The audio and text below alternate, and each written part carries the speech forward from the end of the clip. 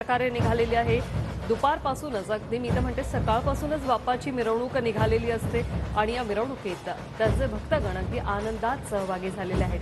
वेगवेगळ्या रूपातले हे बाप्पा सध्या मुंबईच्या गिरगाव चौपाटीवर दाखल होत आहेत. राज्यभरात हा उत्साह आपल्याला पाहायला मिळतोय. तर गिरगाव चौपाटीवर मुख्यमंत्री आणि उपमुख्यमंत्री हे देखील पोहोचलेले आहेत. अनेकांना अभिवादन करून अनेक गणेश मूर्तींवर पुष्पवृष्टी करून सध्या मुख्यमंत्री आणि उपमुख्यमंत्री या ठिकाणी आपल्याला पाहायला मिळत आहेत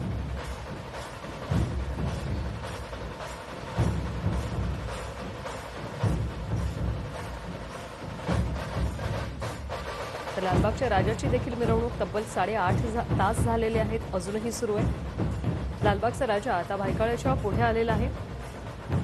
भायकाळ्याच्या झेड ब्रिजच्या पुढे लालबागचा राजा आता पोहोचलेला आहे. त्यानंतर घुडके चौक अग्निशमन दलासमोरील खडापारसी जंक्शन येथे तो पोहोचणार आहे आणि अग्निशमन दल परिसरात लालबागच्या राजावर दरवर्षीप्रमाणे याही वर्षी पुष्पवृष्टी होणार आहे.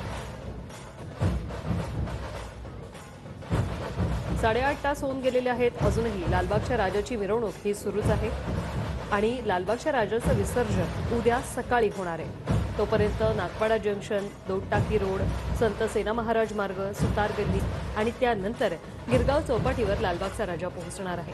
सध्या लालबागचा राजा हा भायकाळ्याच्या पुढे आलेला आहे. भायकाळा रेल्वे स्टेशन पश्चिम परिसरात सध्या लालबागचा राजा पोहोचलेला आहे. आपल्या लाडक्या राजाला निरोप देण्यासाठी अगदी साडेआठ तासापासून हे भक्तगण या मिरवणुकीत सहभागी झालेले आहेत. आणि जराही न दमता जराही न थकता अगदी उद्या सकाळपर्यंत या भक्तांचा उत्साह तसाच असणार आहे. लालबागच्या राजाच्या दर्शनासाठी फक्त महाराष्ट्रातूनच नव्हे तर अगदी विदेशातून देखील अनेक पाहुणे येतात. कलाकार मंडळी असतील नेते मंडळी असतील सर्वसामान्य माणसं असतील हे लालबागच्या दर्शनासाठी अगदी आवर्जून येतात. गिरगाव चौपाटीवरची ही दृश्य आपण पाहतोय. गिरगाव चौपाटीवर आता अनेक मंडळांचे असतील घरगुती असतील गणपती दाखल झालेले हे ही लाईव्ह दृश्य आपण पाहतोय. पोलीस विभाग असेल वाहतूक पोलीस विभाग असेल अगदी व्यवस्थित पद्धतीने कोणताही अडथळा येणार नाही अशा पद्धतीने नियोजन जे आहे ते केलेलं आहे. पोलीस वाहतूक पोलीस जिल्हाधिकारी मुंबई महानगरपालिकेच्या अधिकाऱ्यांनी गणेश विसर्जनाचं नियोजन किती व्यवस्थितपणे केलेलं आहे त्याचीही दृश्य आपण पाहतोय. गणेश विसर्जनासाठी गिरगाव चौपाटी हे मुंबईतलं महत्वाचं ठिकाण आहे. लाखोंच्या संख्येने या ठिकाणी गणेश मूर्त्या या विसर्जनासाठी येतात. आणि या गणेश मूर्तींसोबतच लाखोंच्या संख्येने अनेक भाविकही गिरगाव चौपाटीवर दाखल होतात. कुणाचीही कोणत्याही प्रकारची गैरसोय होऊ नये यासाठी अगदी व्यवस्थितरित्या दक्षताही घेण्यात आलेली आहे. वेगवेगळ्या रंगांमधल्या वेगवेगळ्या आकारांमधल्या या गणेश मूर्ती.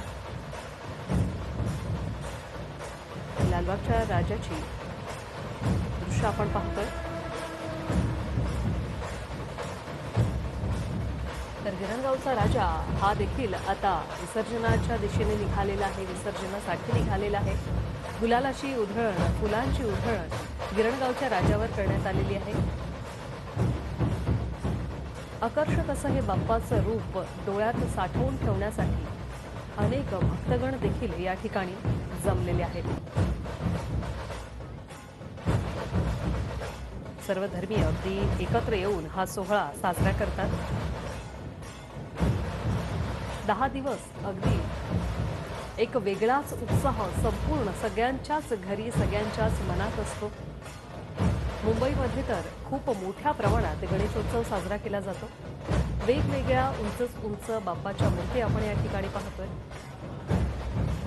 अनेक शैक्षणिक सामाजिक अनेक उपक्रम वेगवेगळ्या मंडळांतर्फे देखील आयोजित केले जातात राबवले जातात. गिरगाव चौपाटीवर. अगदी शिस्तबद्ध पद्धतीने एका रांगेत या उंच उंच भव्य अशा गणेश मूर्ती विसर्जनासाठी जात आहेत.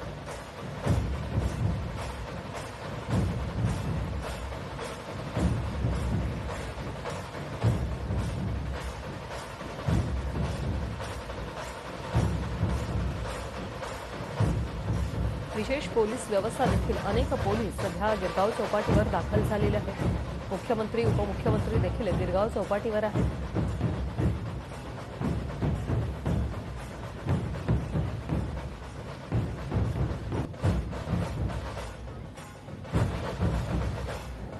पारंपरिक पेहराव ढोलताशाचा गजर या सगळ्यात आपल्या लाडक्या बाप्पाला निरोप देण्यासाठी अनेक जण या ठिकाणी आले.